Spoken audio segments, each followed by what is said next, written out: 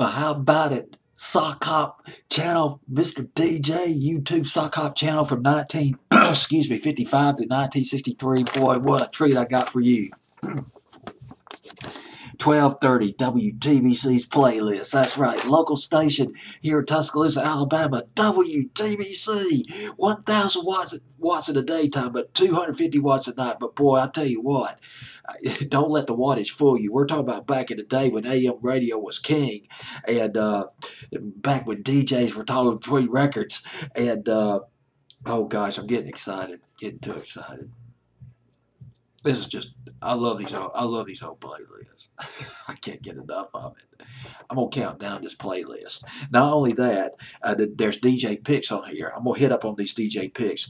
The big thing about this is I like doing the Lost 45s. I can't wait to get to the Lost 45s. There are some standards on here, uh, such as uh, well, Judy's Turn to Cry, sort of a standard. Everybody, a lot of people recognize that one. Stevie Wonder's first hit record is on here, but Shake a Tail Feather, one of the original versions by the Five Du-Tones on this playlist. Yes, it makes doing this playlist count it down so it makes it worth counting it down. The Lost 45 song that was later covered by James and Bobby Purify. But uh, let me go ahead and get started at number 20 right now because I don't want to make this video too long. Number 20 is a standard. It was a huge hit. Number one on the adult contemporary charts for about five weeks. Went to number two on Billboard's Hot 100. Everybody in the world knows this song. Blowing in the Wind by Peter, Paul, and Mary. Coming in at number 20, WTBC's playlist the week of August 8th, 1963. We are in the summer of 1963.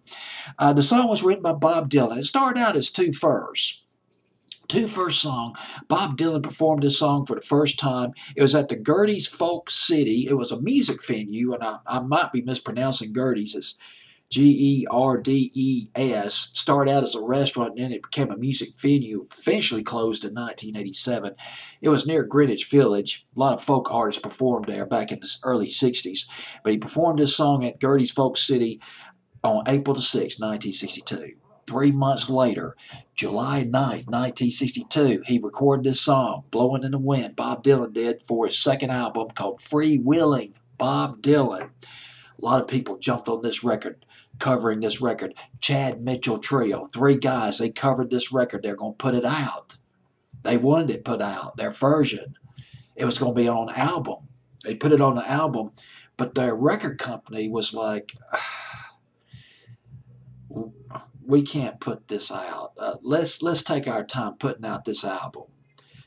Reason being is because Blowing in the Wind uses the uses the word death. It's kind of dark. Therefore, Peter, Paul, and Mary beat them out. They beat Chad Mitchell Trio to the record as far as having a hit with it. Of course, it didn't hurt that Peter, Paul, and Mary had the same manager. They shared the same manager uh, as Bob Dylan, a guy named Albert Grossman. They had the same manager, Albert Grossman. Well, what can I say? 300,000 copies. So 300,000 copies first week of release. That was phenomenal. 1963. Gosh, dog it. You're getting into Elvis territory right there, the king. And we got the king coming up on this countdown. Yes.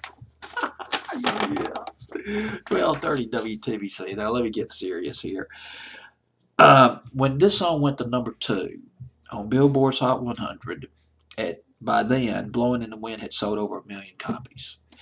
Peter Yarrow of Peter, Paul, and Mary, he came up to Bob Dylan. He said, You're going to make more than $5,000 in royalties off this record. And Bob Dylan just looked at him. You got to be kidding. $5,000 from publishing rights? $5,000 in 1963 was equivalent to about $40,000 today.